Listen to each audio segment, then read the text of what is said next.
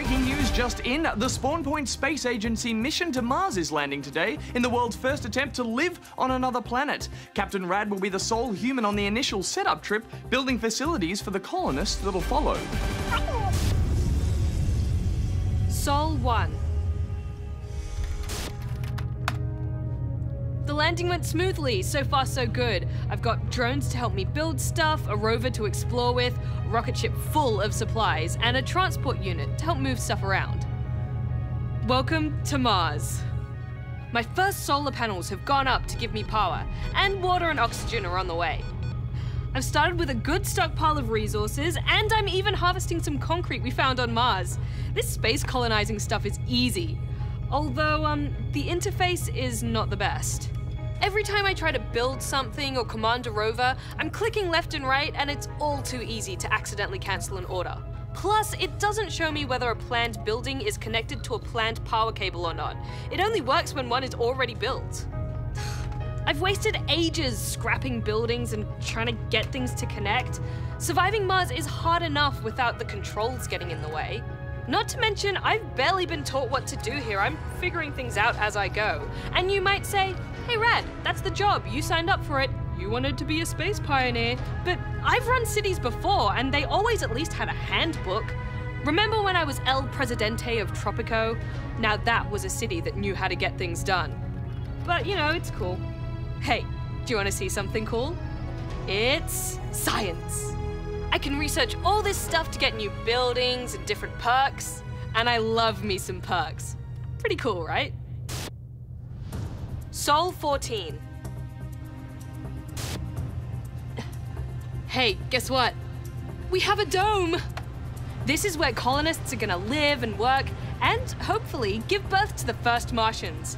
And it looks cool, man.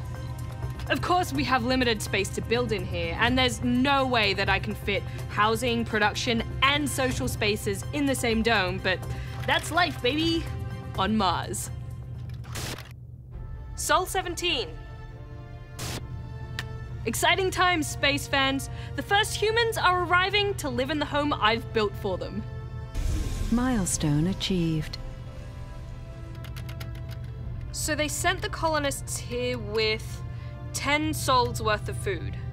To keep people alive and thriving, I need to grow more food on a planet where nothing grows. Luckily, I've got a botanist. Botanists, of course, are plant scientists, so there's no one better to be growing our food. In fact, there's a production bonus when people with specialized skills work in their specific fields. And we're going to need to be as productive as possible because uh, resources are starting to get a little scarce. Sol 43. So, uh, we've hit a small hiccup. Dust covers everything, which means you have to repair it. But repairing it costs resources. Even with millions of dollars in funding, I'm quickly running out of the materials I need to keep this place running. Luckily, I can order a cargo rocket to bring me all sorts of goodies from Earth, like new buildings or precious resources. But we've sprung a leak in the life support, and we're rapidly losing oxygen and water. I can't seem to command the drones to fix it directly, so I just have to wait until their automatic programming kicks in. But I can't find the metal I need to fix it, even though my stock list says I have it here somewhere, so I can't bring it to the right area, so the drones can't start fixing. It's so frustrating. Sol 74. Things are bad.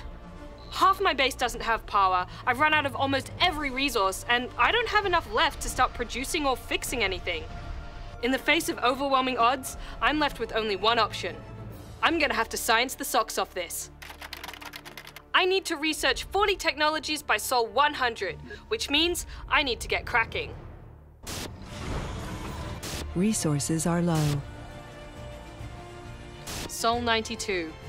Each dome is hanging by a thread. I've had two rovers malfunction. I have zero money for a cargo rocket, and there's no resources left on Mars. My only hope for any kind of victory is this research goal. Sol 100.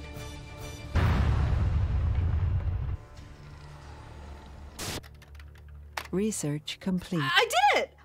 I researched 40 technologies by Sol 100.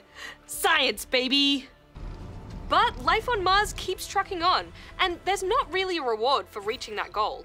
I like how challenging it's been to build a sustainable city on the Red Planet, even if the controls kept getting in my way. There's mystery, cool technology, and a huge map to conquer. I just wish it was more satisfying to achieve those milestones rather than just endlessly surviving Mars. I'm gonna give this experience 3 out of 5 rubber chickens. Congratulations, Captain Rad. Wait, were you here this whole time, Darren? You could have helped me.